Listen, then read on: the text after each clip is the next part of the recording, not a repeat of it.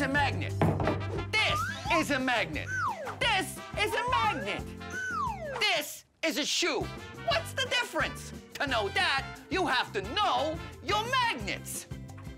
This is a donut. It does not stick to this magnet. This is a spoon. It sticks to this magnet.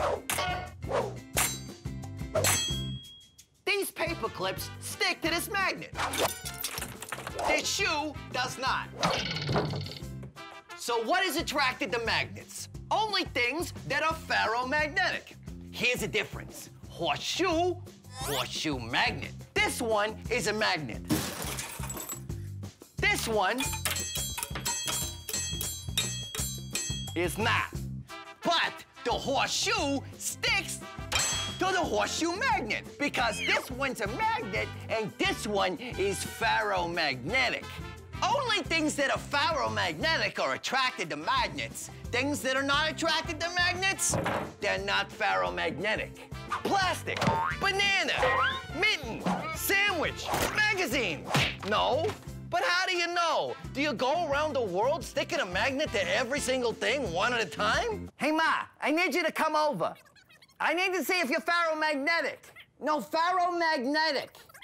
No, you don't need to do that. First of all, only metals are ferromagnetic. So that eliminates all your clothing, your luncheon meats, your magazines, what have you. Everything that's non-metal, you don't need to worry about. Never mind, Ma, it doesn't matter. But this clock is metal. It doesn't stick. Well, not all metals are ferromagnetic. Mainly just the ones with iron, nickel, or cobalt. And there you have it. Now you know your magnets. I hit the phone on the magnet there. Okay, uh, can you hear me, Ma? Hang up the phone. Hang up.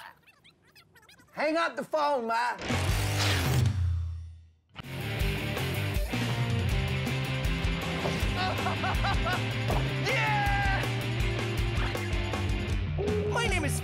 And I take your everyday science experiments and do them big.